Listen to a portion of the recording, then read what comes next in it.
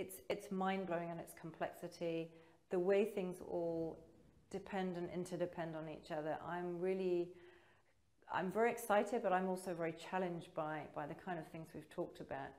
Um, in terms of outputs, we've had a load of ideas on how to deal with data, on its storage, on its management, on its dissemination. You know, what do we do with it? How can people manage it? What can they do with it? Um, we've talked a lot about contracts too. I'm very interested in creating frameworks which enable people to work freely and safely. In other words, in a safe collaborative environment where they can share information, where they can operate openly. Um, that has to be tempered, of course, by having the right kind of tools in place to enable people to keep going um, and to and to work together, but with the right kind of measurements in place. Uh, and we've talked a lot about some bigger bigger issues of how you how you create a business model that's going to be able to react to this stuff. So so yeah, really really exciting stuff. Very very challenging, um, and I'm really looking forward to the next one. However we agree to to work together. So this is our mood board, if you like, of ideas as to what the perfect project looks like. Um, our starting point was actually the end, and the end is this. It's the value to the end user, and that includes societal benefits, economic benefits to the wider community, as well as the person who is actually the uh, end user, the end occupier, the end owner. To get to the end, we have to start here, which is that the basis of the project has to be a collaborative environment.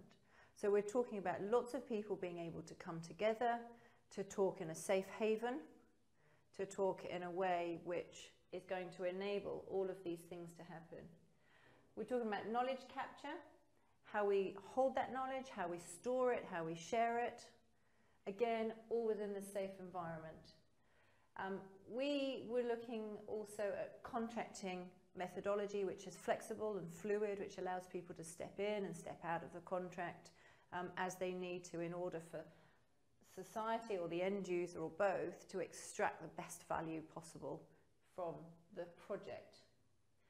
Um, I wanted to put up ethical contracting because it's really important to me that we do our projects on, a, on an ethical footing, um, both in terms of the corporates who are contributing and also uh, in terms of the outturn of the project itself. Is it something which is genuinely of benefit to the wider audience? So what we've got here is a circle which represents the maturity process, allowing for continuous improvement of the project. It's transparent and it's visible in terms of its transacting and in terms of the outputs and the inputs which are uh, pertinent to this cocktail here. And the cocktail is the perfect balance of ingredients. Of course, we've got to include time, processes, money is in there because everybody needs paying. Um, everybody needs to know what timescales they're working to. We've got representations of knowledge here, so traditional forms of knowledge, standards, books, things like that, and also their knowledge which is nowadays captured on computer or in the cloud, which is up here. We also wanted to draw on other industries. So we've got a whole galaxy, a whole solar system of different industries up here which are contributing to this continuous improvement, this maturity process. Um, and we put a couple of icons just to represent specific industries which we think um, the construction and engineering industry can learn from itself. We've added in hierarchy to make sure that decision making and governance is done at the right level. Um, and we've added in process here to make sure that all of these things are done in a logical and um, um, consistent approach.